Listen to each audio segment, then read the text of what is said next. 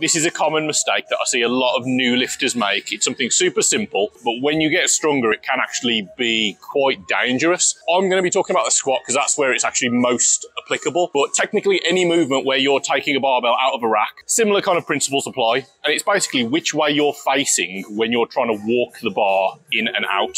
And I don't mean are you on this side of the rack or that side of the rack. I mean, once you lift the bar up, do you have to step forward or step back? If you look at any weightlifters, powerlifters, they're always going to be doing this and they're going to take their first steps backwards and then when they finish their set, they're going to take steps forwards to get back in the rack. Some of the newer lifters sometimes think, okay, to get a bit more comfortable with the weight, I'm going to just get under there and take my steps forward. I think we can all establish that walking forwards is easier than walking backwards. So when you finished a set and you're very fatigued, you've now got to take steps backwards. It's so much easier to trip over or make a mistake. Also, you're double checking to make sure that you're actually in those J-cups. You've now got to turn your head quite a lot further to make sure you're in a safe position compared to if you're front on. With the actual setup itself, a lot of the time people will try and really dig themselves deep into a, a tight position like this. When you're doing it the other way around, you run the risk of literally pushing the bar off the J-cups before you even